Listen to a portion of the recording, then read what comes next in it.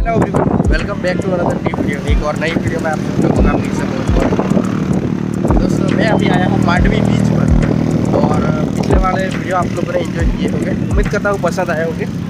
तो वीडियो को पूरा देखिए और आज थोड़ा बहुत जो बीच पे एंजॉय करने वाले हैं। तो प्लीज़ चैनल को सब्सक्राइब और वीडियो पूरा देखिए। मांडवी भारत के गुजरात राज्य के कच्छ ज़िले में स्थित एक नगर है। यानी कि मांडवी एक बीच है और इसको जो है बंदरगाह भी हम बोलते हैं। यह अरब सागर से तटस्थ है और यहाँ सैकड़ों वर्षों से नाव निर्माण की परंपरा है। और यहाँ पर घूमने के लिए खाने पीने के लिए और स्पोर्ट एक्टिविटी करने के लिए बहुत अच्छी सुविधा है और शाम के टाइम में तो बहुत ही बढ़िया माहौल हो जाता है यहाँ पर।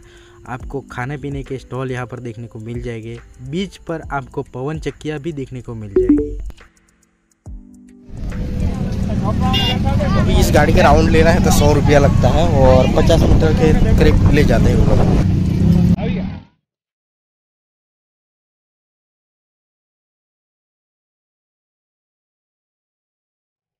और दोस्तों क्राउड काफ़ी ज़्यादा है मतलब हाँ, काफ़ी ज़्यादा आप लोग देख सकते हो। बहुत ही ज़्यादा क्राउड है। और मतलब इस गाड़ी की तो हद ही हो गई यार। तीन तीन लोग बैठ जाते हैं और क्या दब के चलती है यार। मांडवी बीच गुजरात के फ़ेमस बीचों में से एक बीच माना जाता है।